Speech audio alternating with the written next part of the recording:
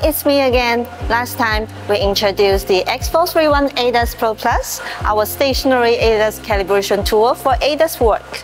Today, we will walk you through how to recalibrate an front camera on an Audi A6 using the X431 ADAS Pro Plus together with the Pad9link tablet. ADAS calibration is often needed during regular repair jobs like when ADAS parts are replaced or if structural adjustments are made.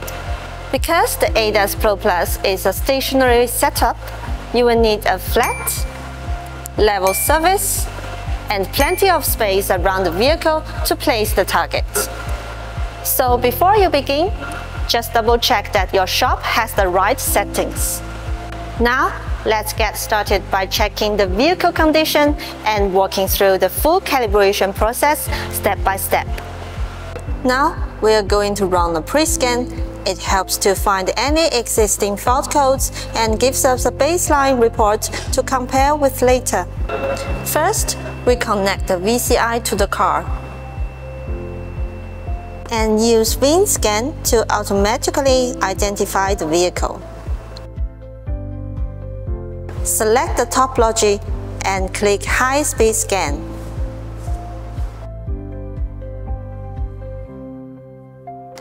As you can see, several fault codes were found in the full system and some exist under the ADAS system. Save the report under pre-repair. Now you can check the details on the report. Alright, follow the instructions to enter the ADAS Pro Plus diagnostic system. Before we jump into a calibration, make sure the headlights are off and the ignition is on. Alright, let's follow the instruction on the tablet. To start the ADAS calibration process for the Audi A6, the operation steps may be a little bit different due to the vehicle model. Select ADAS Pro Plus. The screen shows the area that needs to be reset. Please follow the instructions to proceed.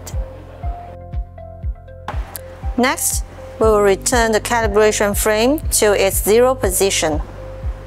We start by adjusting the fine-tuning knobs to make sure the two red lines align.